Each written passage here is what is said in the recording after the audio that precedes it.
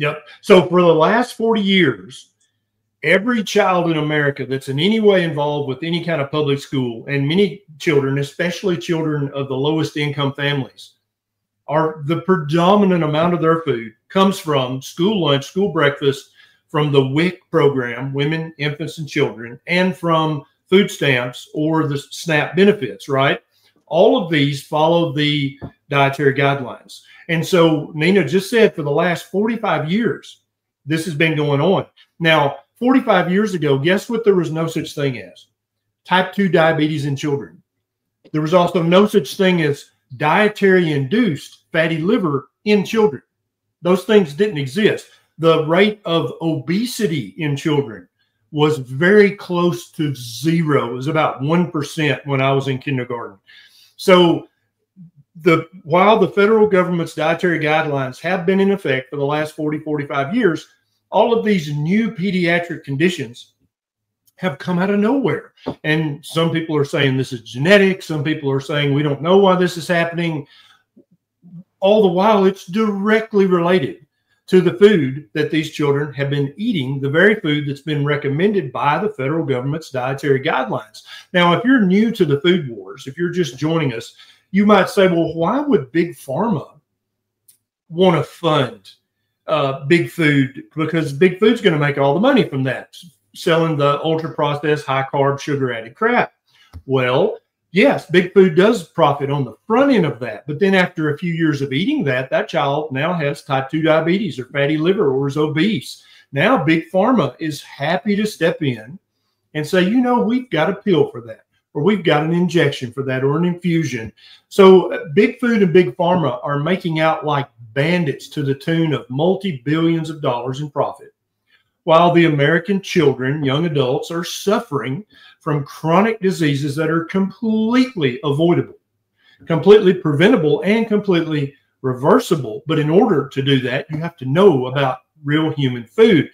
So, uh, if you haven't already done this, I guarantee you this affects your life, whether you know it or not. Please click the share button down at the bottom of the screen. Share this all over your social media because the more people, just like you, that understand this problem and understand just what a huge problem this is, the quicker that Nina and I and everybody in this current administration, whether you like them or not, whether you like Trump or not, it's irrelevant.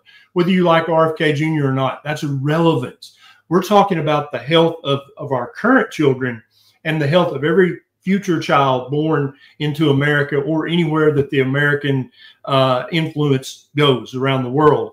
Please share this video. So, Nina, I know you've been involved for years in this fight, trying to get the dietary guidelines changed do you do you feel like that you see a ray of sunshine now with this with the current administration the current atmosphere in dc are we are we liable to make some progress this go round? Yeah you know you make a really important point that this is not a partisan issue. We you know obesity diabetes the $1 trillion a day that we are spending on our health care due to these 85 90% of that is goes to treating and managing chronic diseases. This is a this is not a right or left issue. It really is an issue that affects everybody. Our military the a third of all recruits cannot are not qualified mainly due to obesity and also and being on medications. So we have we have a national pro- problem. This administration has elevated the issue of chronic disease. It's something that's long overdue, and I'm grateful to them for that. But we have, and this is an opportunity, and I do see a ray of light in these guidelines. Um, in that, as I said, first of all, I think that they are re-examining the cap on saturated fats. Why is that so important? Saturated fats, the cap on those, which really dates back to like the early 1960s with the American Heart Association that started that. That limits the amount of uh, red meat that people are allowed to eat and meat with fat in it. You know, you need the fat in order to process the protein. You need the fat for satiety. So the the cap on saturated fat limits the amount of real regular meat that people can eat and also whole milk You cannot have whole milk in the schools. I mean, we have only uh, non non-fat milk or or one percent milk is allowed. You cannot even give away whole milk for free on any in any public school. And eggs, you can't get more than three eggs a week served for breakfast. So these are whole nutrient dense foods that are uh, are severely limited in the meal programs or any program that is following the guidelines due to the cap on saturated fats.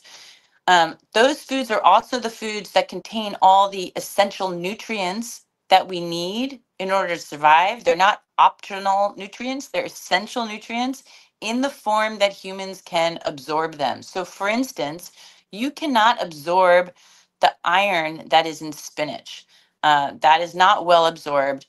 Humans absorb heme iron. Heme iron is available in animal foods and principally red meat. So that's just one example. You can't get calcium well absorbed from vegetables. It's much better absorbed from dairy products. So we need these foods. They're also the source of complete proteins, meaning they have all the nine essential fatty, acids that you need to eat and consume in a single sitting in order to generate uh, protein for your body, which is has a huge range of um, functions in your body. It's not just your muscle, muscles; it's your immune system, your ability to resist infections. So that so lifting the cap on saturated fats, um, which is justified by the science, 100%. I I think um, we can talk about that, but that would be a huge and dramatic shift. Um, I think there's there's also talk, although not none of this is for sure, but I can just tell you the conversations that I hear uh, about reducing the amount of sugar that's allowed down from 10% of calories. We should not have 10% of calories coming from a food that is not just empty calories, but actively drives insulin resistance and chronic disease. Agreed. There's convers- conversation about reducing the amount of added sugars and grains, reducing refined grains. I mean, why are we recommending three servings of refined grains a day? That should not be uh, part of the guidelines. I mean, just an anecdote, I can tell you I've looked at the the USDA approved um, items that go to schools and to um, other institutions, I mean, there's literally individually sized uh, Froot Loops and Lucky Charms and Dora the Explorer cereal and lots of individually sized fruit juices, which is just sugar water. So those foods should not be allowed. They should not be elevated in any way or condoned by our guidelines. So I, I, I know that there are discussions about that. And the really important discussion that I want to share with your um, audience is the that there is a consideration of including some language that allows for a low carbohydrate diet for people with metabolic diseases. This is this is the potential language that I hope people can maybe get loud about because it's so important that that be an option. And just to give you a little bit of a broader perspective, when the guidelines were launched in 1980, as Ken said, um, Dr. Berry said, obesity was the rates of obesity were very low. For adults, they were below 12% uh, obesity rates. Type 2 diabetes also low. Non-alcoholic fatty liver disease also very low. So the population was generally healthy and they created a guidelines to prevent disease Yep. In a generally healthy population. Yes, By and let me let me interject, Nina. You're exactly yeah. right. So this is actually in the the federal government's uh, code, Title Seven, Section 5341.